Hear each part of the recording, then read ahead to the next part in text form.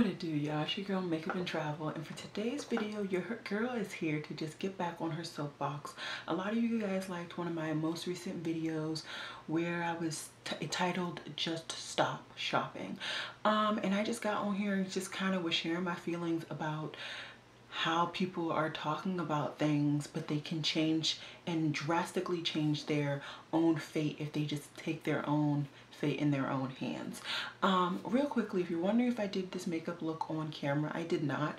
It actually was a really easy makeup look. So if you're interested in letting me, seeing me do it, I can do it. It'd probably be more realistic to be a Instagram um, tutorial though, because it really was a very quick video or quick makeup look um, just kind of the highlights. I used my BeautyWide Seasons palette on my eyes. I've been really wanting to use it again. I haven't used it in a really long time and I love that palette.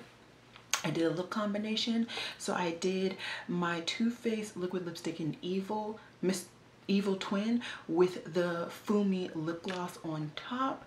And then for my cheeks, I used my Laura Mercier use my Laura Mercier blush in Plum Berry. It is like a satiny type blush right there and then to top it off and as my highlighter I used my blush highlighter um, from Beauty Bakerie and Stop and Smell the Rose. So those are the highlights. Everything else, if I can remember, will be down below. But honestly, the rest of it isn't as important as those three groups of items.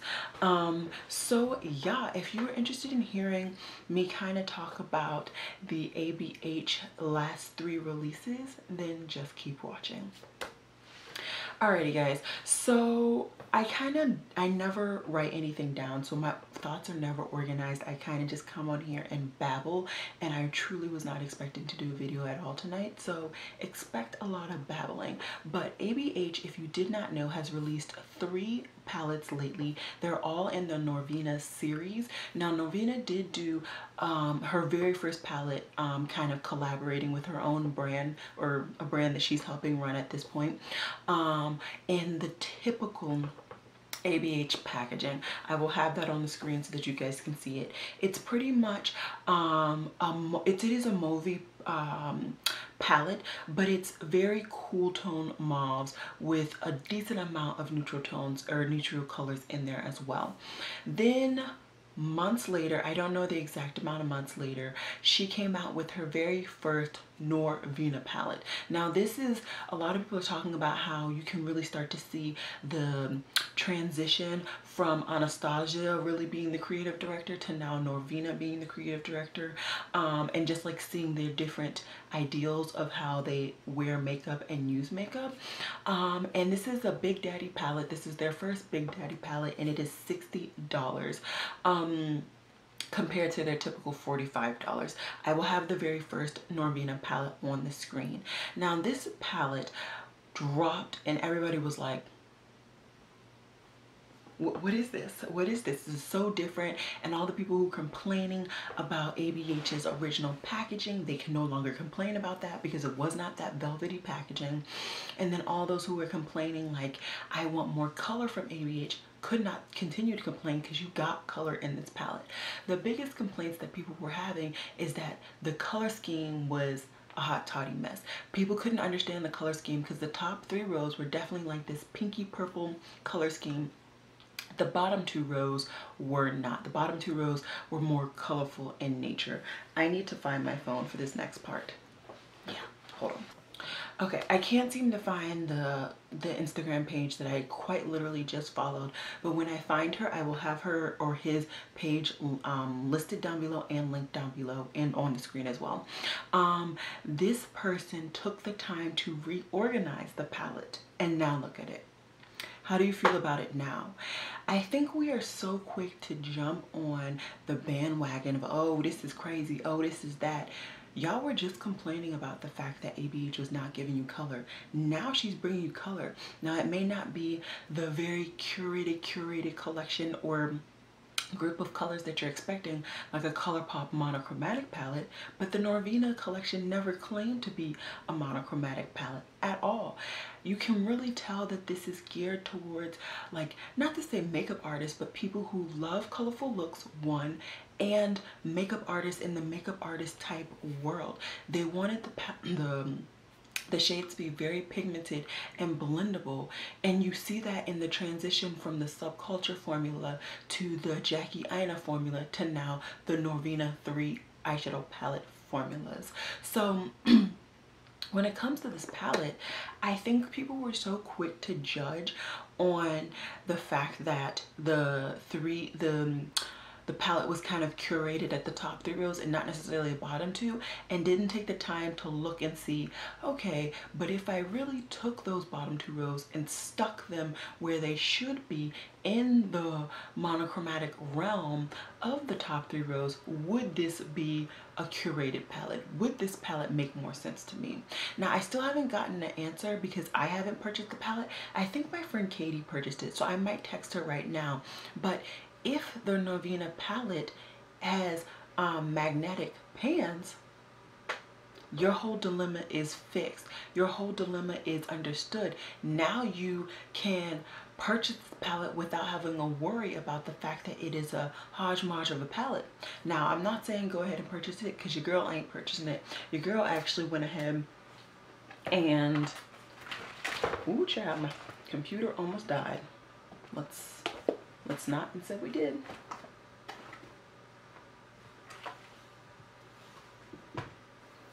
Your girl actually created her own perfect ABH Norvina Volume 1 palette. So I have no business at all telling you guys to go purchase something because I have been doing my best, my actual best not to purchase things.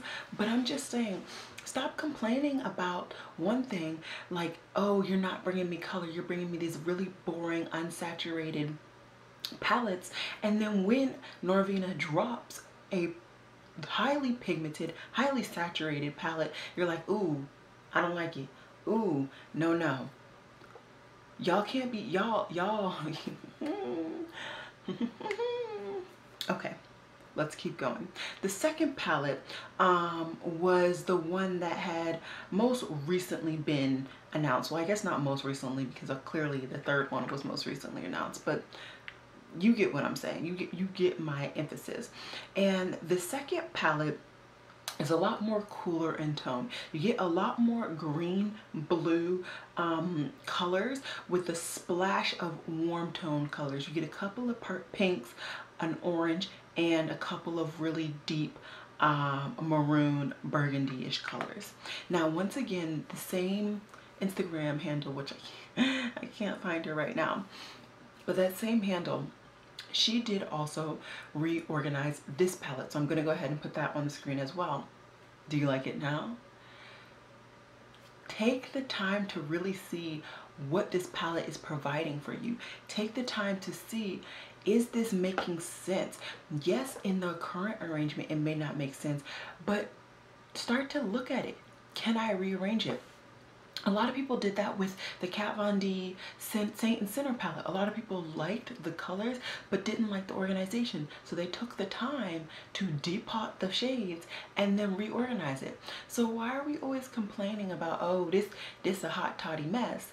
When in reality, this is just an artist version of a palette that you can reorganize for your mindset, for your artistic mindset, for your pleasure, for your accessibility. Not everybody can look at a hodgepodge of a palette and be able to immediately create 10 looks but some people can and some people like to see the color schemes mixed up so that they can really challenge themselves whereas other people's love to see the palettes in a monochromatic or slowly gradiating manner and I think both ways are okay but I think we need to stop immediately pouncing on a uh, palette and pouncing on a brand, pouncing on a creator like, oh, this is stupid. Oh, this doesn't make sense when just because it doesn't make sense to you doesn't make sense.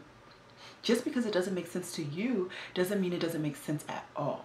It does make sense clearly to the person who created it, maybe even to the board of people who approved it. So take the time to really think about other people's perspectives. Don't always think about your own.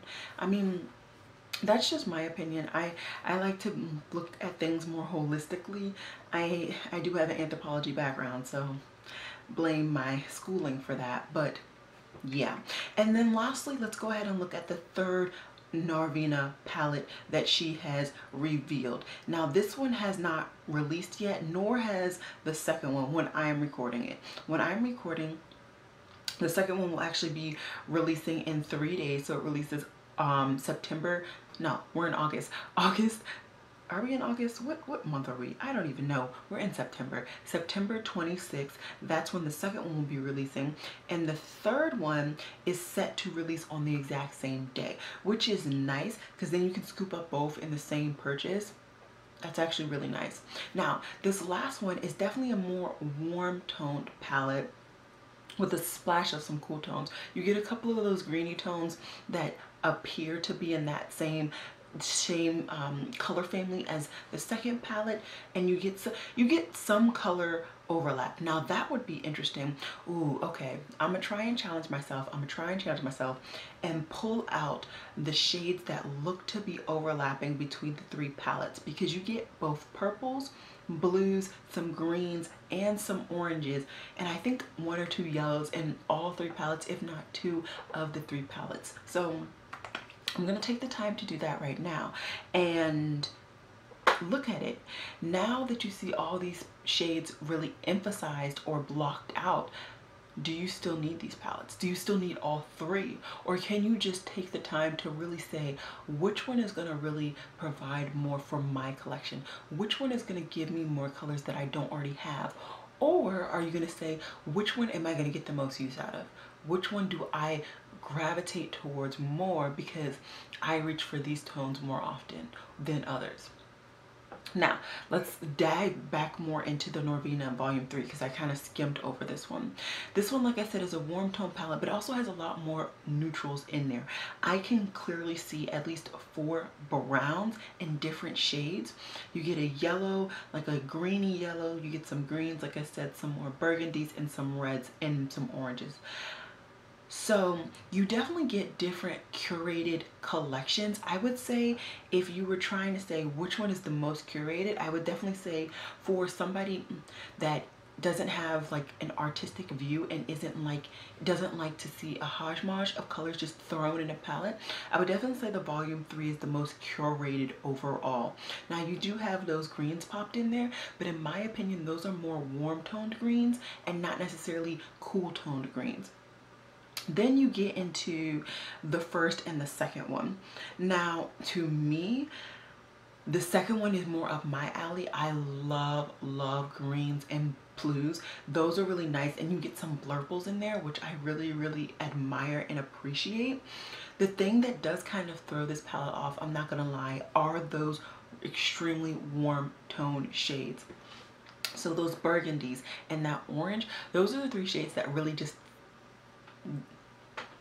and like they are just out of the area. They they in my opinion have no business being that palette. Now that's not to say that i don't like the color scheme but if we're really trying to like curate the collection you can tell that they just they ain't got no business being there.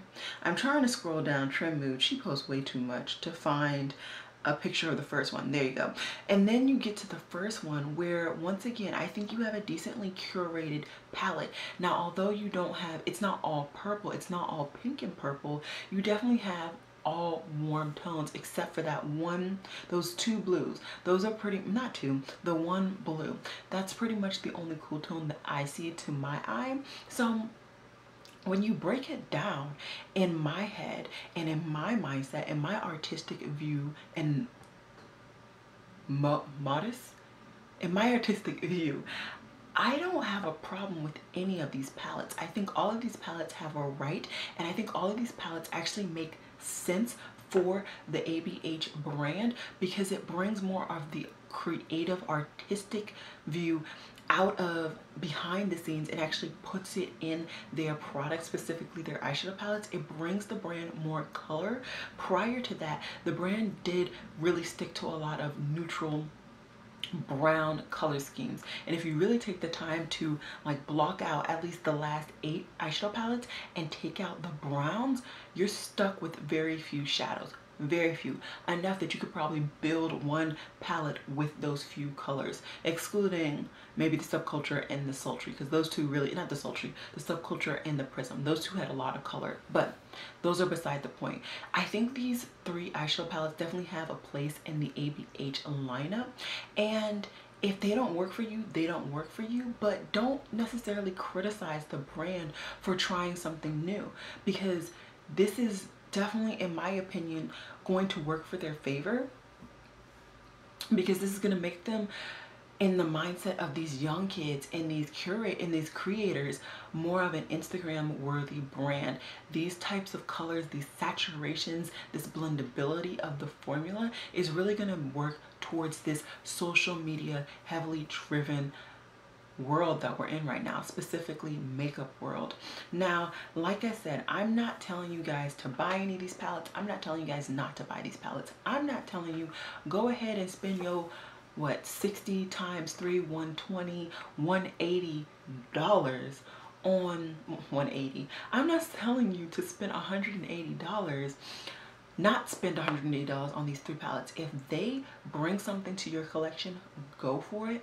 But I'm just telling us that we should start to really critically analyze these releases. And even if you are one of those people that really need to see something in a gradient or a, a monochromatically done out, then maybe follow this one chick. I'm telling you, it was, it's her I'm keep calling her her like I know her life. I don't know her.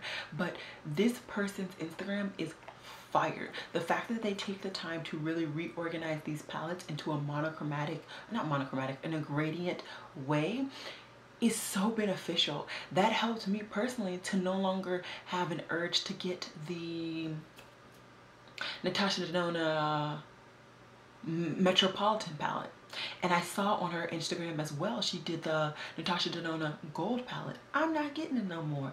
I like the golds. The golds are interesting, but I have golds and I don't wear gold. So what am I doing? So just really take the time to look at your collection and take the time to consider how this fits into the brand before you criticize a little bit too much. These are all just my opinions, my thoughts. Your girl just wanted to sit down real quickly and film something because I was feeling this look. I was feeling it. I was feeling nice and sassy, nice and fall ready. Um, I think that's all I have to say. I think that's it. Um, I think so I remembered that I had one more point that I wanted to make. Um, the reason I was asking if these pans were magnetic is because I think it would be even more intriguing and beneficial for both ABH and their consumers if they released all the pans from each of the three Norvina palettes as singles and then let you build your own palette. That way, everybody gets the both of both worlds, best of both worlds. You get the already curated palettes, and then you can build it so that it's even more monochromatic palette, or you get all the shades that you actually want, etc, etc. I know a lot of people always feel this way about palettes, but I feel like this packaging just looks and screams like it's magnetic and that you can take the singles out and it would be beautiful if people could create their own palette. Now, that's not to say that if, let's say, you get the first one because you love the pinks and the pink, the pinks and the purples, and then you get the second one because you love the greens and the blues, and you just kind of mix the shades that you really love together and kind of put all the other shades separate, you can definitely do that, but then you're still spending $120, whereas if ABH were to make it this way, you potentially might only have to spend $60 or a little bit more because you're building your own palette. Um, but yeah, that's all I really, for all this time, that's all I wanted to say. we're gonna go with that's it. If you guys have any questions for me any comments i would love to hear you guys opinions about these three palettes or just looking at palettes in a different way. Whether you prefer to look at them in a gradient mindset or if you like to look at them in a hodgepodge i would love to have a conversation with you guys down below. Definitely check out the links down below specifically to this person's instagram. I love it um i think that's it i'm off my soapbox i'm thirsty i'm tired i need to wake up tomorrow for work and your girl is here talking to y'all. So it has been real, y'all. Peace.